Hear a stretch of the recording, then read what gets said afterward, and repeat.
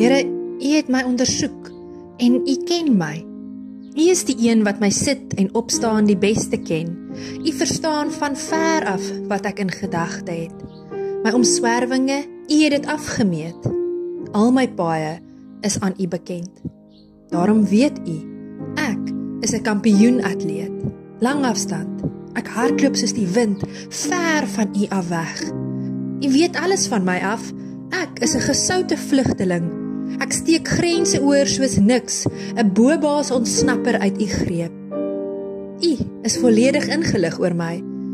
Ek kry mos sommer 'n koers in my kop en vat die pad, versnel gaande weg, huppelend die afdraand af. Maar u u keer my voor. U lê hindernisse op my roete. U laat stuit my voor afgronde waar daar gister nog niks was nie. U doen alles om my reisplanne op 'n reguit paadjie te laat loop. Ag Here, en omdat U my ken, weet U van my geneigtheid om te loop waar ek wil. Om dit op plekke te gaan waag waar ek nie hoort nie en waar ek dit op die lange duur nooit sal oorleef nie. Om my op 'n speelveld te begewe waar nie ek of enige een van u kinders tuis hoort nie. Ja, so ken U my in al my wilde weë. Here, lei my om vir 'n slag daardie reis na binne te neem. Daardie reis wat ek so dikwels en maklik vermy, te midde van al die ander reise wat ek onderneem.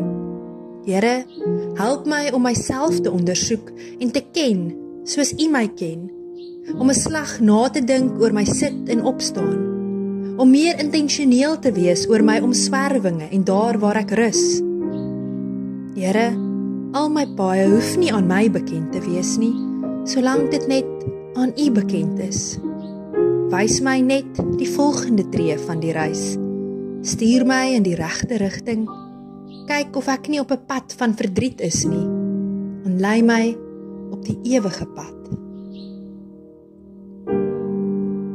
Watter gedagtes verhoudings of idees kies jy om nie te konfronteer nie?